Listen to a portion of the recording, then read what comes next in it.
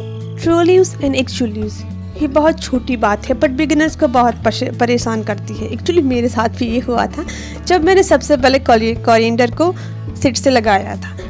Coriander germinate हो गए, इसके अंदर लीव्स निकलना शुरू हो गए तो मैं परेशान हो गई कि अरे, ये किस तरह के लीव्स निकल के आ रहे हैं? क्योंकि कॉरिएंडर के लीव्स तो ऐसे होते नहीं हैं। फिर मैंने काफ़ी सर्च किया, उसके बाद मुझे पता चला कि ये इसकी एक्चुअली सेडलिंग के लीव्स है। सो मैंने सोचा कि ये छोटी सी बात है बट आपके साथ भी मैं शेयर कर दूँ। सो हम बात करते हैं कि इसके अंदर मैंने लगाया हुआ है ककुम्बर सो इसके अंदर जो नीचे वाले दो लीव्स आपको दिख रहे हैं, वो सिडलिंग वाले लीव्स हैं। और उसके बाद जब इसकी ग्रोथ शुरू होगी, तब इसके अंदर नए लीव्स निकलना शुरू होगी, वो होगी एक्चुअल लीव्स अब एक्चुअल लीव्स किसे बोलते हैं?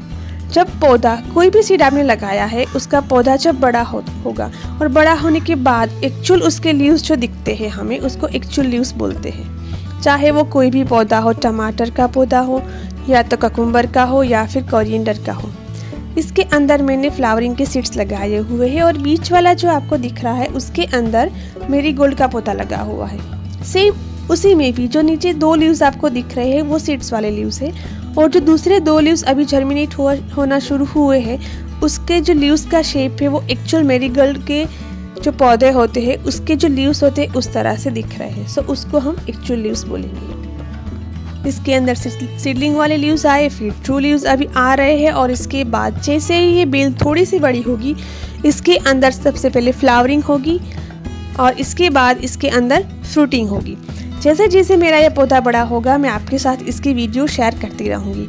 सो अगर आपको मेरे ऐसे वीडियोस अच्छे लगते हैं तो मुझे कमेंट करके बताइए ताकि इस तरह की मैं वीडियो आपके लिए ला सकूँ। थैंक यू फॉर वॉचिंग हम मिलेंगे हमारे नेक्स्ट वीडियो में। तब तक के लिए बाय बाय